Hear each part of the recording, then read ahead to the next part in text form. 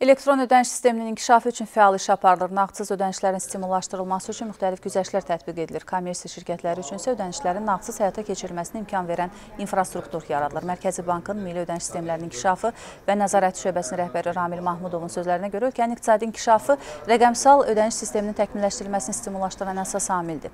O qeyd edib ki, bu sahənin inkişaf etdirilməsi məqsədi ilə Mərkəzi Bank dövlət proqramı layihəsi hazırlayır Мы подготовили проект. Biz növbəti illər üçün Azərbaycanda rəqəmsal, nağdsız hesablaşmaların inkişaf etdirilməsini nəzərdə tutan dövlət proqramının layihəsini hazırlamışıq.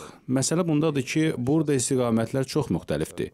Deyək ki, biznes marketinq, kart holderlərlə bağlı biznes, B2B payments, ödəniş bazarının ayrı-ayrı iştirakçıları arasında köçürmələr və s. Belə deyək ki, proqramın effekti bütün bazarı əhatə edəcək. Скажем так, эффект и программа охватит весь рынок.